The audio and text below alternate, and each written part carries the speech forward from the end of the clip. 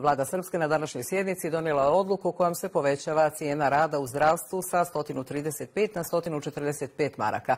Ministar zdravlja i socijalne zaštite Alen Šeranić ovlašćen je da sa reprezentativnim sindikatima iz oblasti zdravstva potpiše odluku o povećanju cijene rada. Šeranić je precizirao da su odlukom obuhvaćeni svi radnici u zdravstvu. Kako se procjenjuje, do kraja godine bit će neophodno obezbijediti dodatnih 5,3 miliona maraka.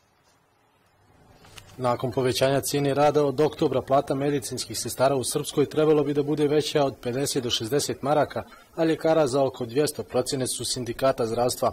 Ovo povećanje za vladu znači nove milionske izdatke. Procjena je da ćemo do kraja godine trebati 5,3 e, miliona maraka da shodno ovom povećanju ovaj, e, doznačimo ustanovama kako bi mogle da uđu u isplatu plata po novoj cijeni rada.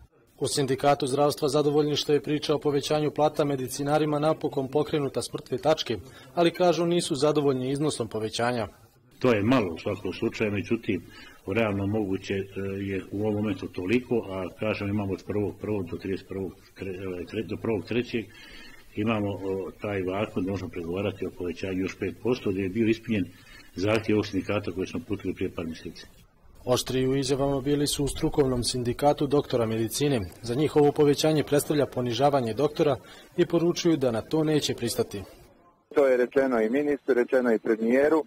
Mi smo tražili i dali određene zaključke shodno razgovorima i pregovorima. Ovaj, čekamo od strane vlade da vidimo da li je to usvojeno ili nije, pa ćemo dati zvaničan, zvanično saopštenje za sve medije. Vlada je usvojila i nacrt strategije mentalnog zdravlja za period 2019-2022 godina. Resorni ministar istakao i da su nastavljene aktivnosti na obezbeđivanju novca za rekonstrukciju tri psihijatrijske i jedne ustanove socijalne zaštite u Srpskoj. Riječ je o klinici za psihijatriju Univerzitetskog kliničkog centra Banja Luka, bolnicama u Modrići i Sokocu te domu u Višegradu. Ukupna vrijednost je 15 miliona konvertibilnih e, maraka ovaj, i ona će biti raspodijeljena na ove četiri ustanove. Prethodno su urađene procjene potreba vezano za svake od ove četiri ustanove i usaglašeno je šta bi to trebalo da se radi po pitanju ovih ustanova.